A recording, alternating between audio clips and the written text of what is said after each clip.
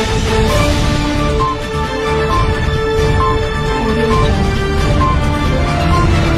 trọng kính chào quý khán thính giả. Chào mừng quý khán thính giả đến với mục tin tức của tin đối chứng.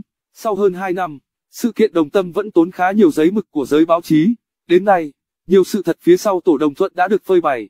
Kính mời quý khán thính giả cùng tin đối chứng điểm lại sự việc để thấy rõ bản chất đen tối của những kẻ tự xưng là anh hùng chống tham nhũng.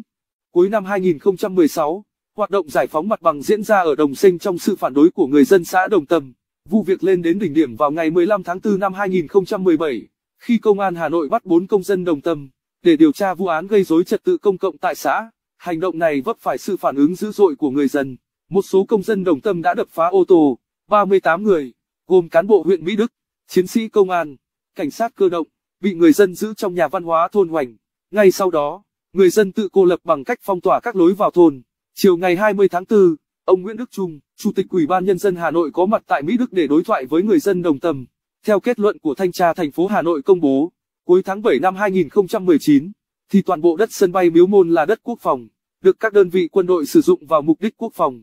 Hiện trạng đã được kiểm định của cơ quan đo đạc Bộ Tài nguyên và Môi trường. Thế nhưng, Tổ đồng thuận, đứng đầu là ông Lê Đình Kình luôn bày trò để phản đối, luôn tự nhận mình là đại diện cho nhân dân đồng tâm tiến hành gửi đơn kiện cáo lên các cơ quan nhà nước, khiến quá trình thanh kiểm tra kéo dài nhiều năm.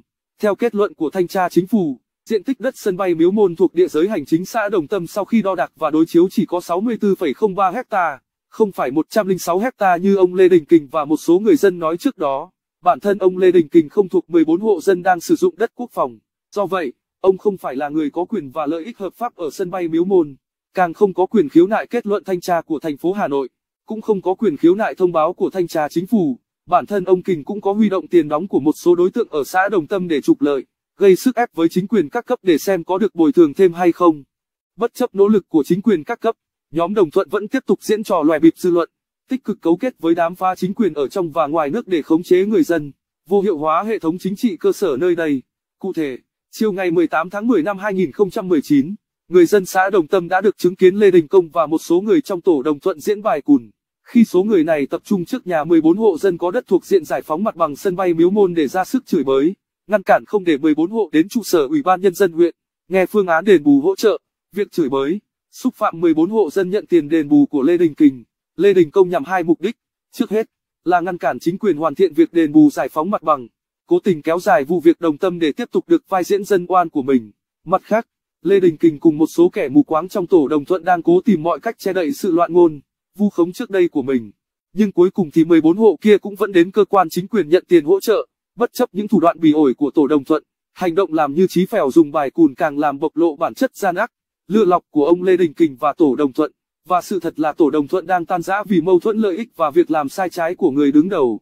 Mới đây, Hai bản thu chi quyết toán nội bộ năm 2018 và 2019 của Tổ Đồng Thuận, do Lê Đình Kình cầm đầu và Bùi Thị Nối làm thủ quỹ vô tình bị lộ và được phát tán trên mạng Internet, khiến không ít người phải giật mình. Nếu như nguồn thu năm 2018 được ghi chép là 815 triệu đồng, thì năm 2019 là 645 triệu đồng. Nguồn thu được ghi chép đến từ sự đóng góp của người dân xã Đồng Tâm, của các đoàn khách, luật sư, nhà văn và đặc biệt là một số cá nhân, tổ chức nước ngoài, người khiếu kiện. Nhìn Mục Thu đã thấy khủng thì nhìn sang Mục Chi lại càng thấy khủng hơn. Nào là chi tiếp khách 100 triệu đồng trên năm, chi bồi dưỡng ông Kình 100 triệu đồng trên năm, chi bồi dưỡng ông Công, Lê Đình Công, 100 triệu đồng trên năm, chi bồi dưỡng ông Hiểu, Bùi Viết Hiểu, 70 triệu đồng trên năm, chi bồi dưỡng vợ chồng Thuận Nối 50 triệu đồng trên năm, chi họp thường kỳ 10 triệu đồng. Rõ ràng Lê Đình Kình và các thành viên trong tổ đồng thuận đang trục lợi dựa trên số tiền mà chúng lừa nhân dân đóng góp để thực hiện mục đích do chúng tự vẽ ra. Sau Bùi Thị Nối, Nguyễn Hạ Tuân, Lê Thị Loan, Nguyễn Thị Đề tuyên bố không dính líu đến tổ đồng thuận, thì nay Lê Đình Ba một người được xem là cánh tay đắc lực và là bộ não của Lê Đình Kình và tổ đồng thuận cũng rứt áo ra đi. Nói về việc rút khỏi tổ đồng thuận, Lê Đình Ba nói, chẳng ai chịu chặt đầu cho việc làm sai của Kình, nhất là sau khi thanh tra chính phủ công bố thông báo số 611, mọi việc đã trắng đen rõ ràng, ông Kình có tự chặt đầu như lời hứa thì diện tích đất sân bay cũng không thay đổi, các mốc giới vẫn đó. Lê Đình Ba khẳng định lý do ba không tham gia tổ đồng thuận, không nghe theo Kình như trước đây, một phần là do không ưa cái bản tính tham lam, lợi dụng người khác để biển thủ tiền của bố con Kình. Ba đã sớm nhận thấy sai lầm của Kình và biết có ngày sự lừa dối của Kình với dư luận, với người dân đồng tâm sẽ bị các cơ quan chính quyền bóc bẽ. Bên cạnh đó, nói về việc gần đây Lê Đình Kình chỉ đạo tay chân đi quyên góp tiền thuê luật sư, Lê Đình Ba cho rằng, Kinh cũng chỉ dùng lại bài cũ để kiếm tiền của dân. Hợp đồng với luật sư thì cứ ký nhưng còn lâu mới trả tiền. Cuối cùng thì sau một loạt vụ việc, Lê Đình Ba cũng nhận ra bản thân chỉ là công cụ để bố con ông Kinh lợi dụng để tư lợi cá nhân. Dù muộn còn hơn không, rút khỏi tổ đồng thuận là bước đi khôn ngoan hướng về nẻo thiện của Lê Đình Ba. Có thể thấy, hoạt động của tổ đồng thuận đã đi vào ngõ cụt khi không còn ai ủng hộ, trong khi cơ sở pháp lý không có. Tất cả chỉ là trò cào mặt ăn vạ mà thôi. Sự việc làm sáng tỏ, việc thanh tra, kết luận được tiến hành bài bản, qua các cấp.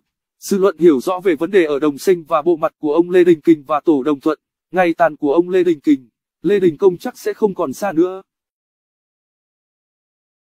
Cảm ơn các bạn đã theo dõi kênh tin đối chứng. Nhớ like, share và subscribe để cập nhật những tin tức mới nhất.